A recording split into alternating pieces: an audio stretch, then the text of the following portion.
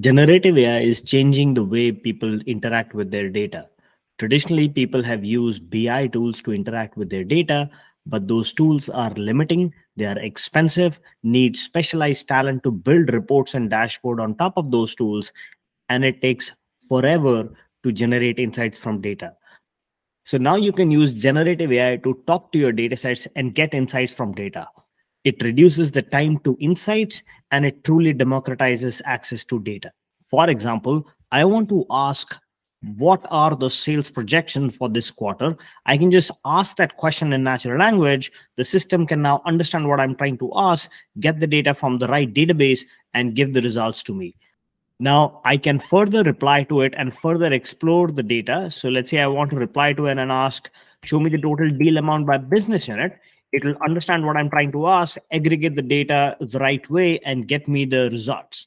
Now you can either download this data send this to you send this to yourself uh, in an email or schedule it to arrive either in your inbox or using one of the other data delivery methods at a particular frequency.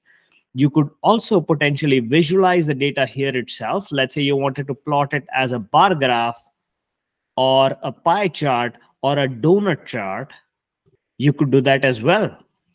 You can also further analyze this data by sending it to one of the popular BI tools like Looker or Tableau or Power BI, etc. Here, for example, I'm sending this piece of data to Looker and I can visualize it there or further analyze it there.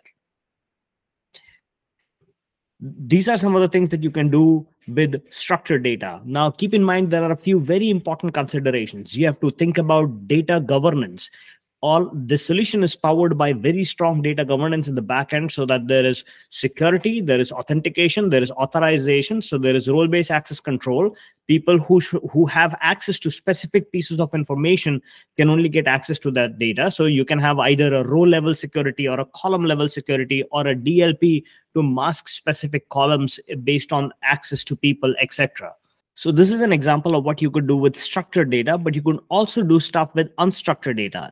So let's say I'm doing some research and I want to know what is Alphabet's revenue for the first quarter and how has the operating income changed year over year?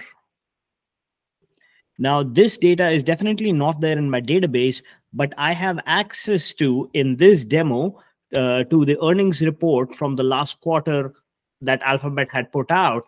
And the system can now go ahead and query that against my document database, look through the unstructured data and get me the results. So it's saying the first quarter revenue is this much, uh, and also the operating income in 2023 is this, which is lower than the operating income of 2022. Uh, and it also provides me the results. So let's look at the results. So this is actually a quarterly earnings report from Google, uh, from Alphabet, and you can see that the revenue is exactly what uh, the system had mentioned. And also the operating income has gone down from 20 million uh, 20 billion dollars to 17 billion dollars based on the uh, based on the report. I could also ask a question that might not be in a pdf document but some other form factor like images audio video etc here for example i have given this demo access to a few podcasts. So let's say if i ask this question uh, why did OpenAI go from being a non-profit company to a for-profit company? It is now this data is not available in any earnings report, but it is available in a video podcast. So it says OpenAI went from being a non-profit to a for-profit company because they realized early on that they needed more capital and which they were not able to raise as a non-profit company. And it is saying that it got this insight from the video of uh, Sam Altman interviewing with Lex Fridman. And you can see that uh, here, actually, Sam Altman is talking about uh, why uh, OpenAI went from being a nonprofit to a for-profit company.